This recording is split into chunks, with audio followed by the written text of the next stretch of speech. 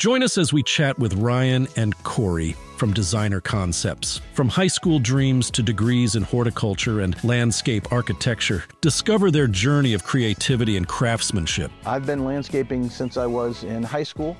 Liked it well enough to study it in, in college, got a degree in landscape architecture, and then uh, from there worked both in the design only and the design build world. Saw the design build world as a neat conjunction of design and using my ag background to continue to work outdoors, continue to work with plants, as well as satisfy what clients were looking for. And been in the landscape contracting business for over 25 years, uh, and we owned our own business for 18 of those. Uh, a lot of diverse experiences, learned some things that I never thought I would. I have a construction background. I love working with my hands and I, I, started landscaping 26 years ago and then I got a degree in horticulture with a focus on landscape construction. My focus is uh, production and, and, building things and uh, so yeah, I've been doing it for 26 years now and uh, I met Ryan 20 years ago. We realized that we really liked doing the, the, the same type of work and had a unique vision for how we wanted to run a business. So we came together and brought our unique talents, started in 2006.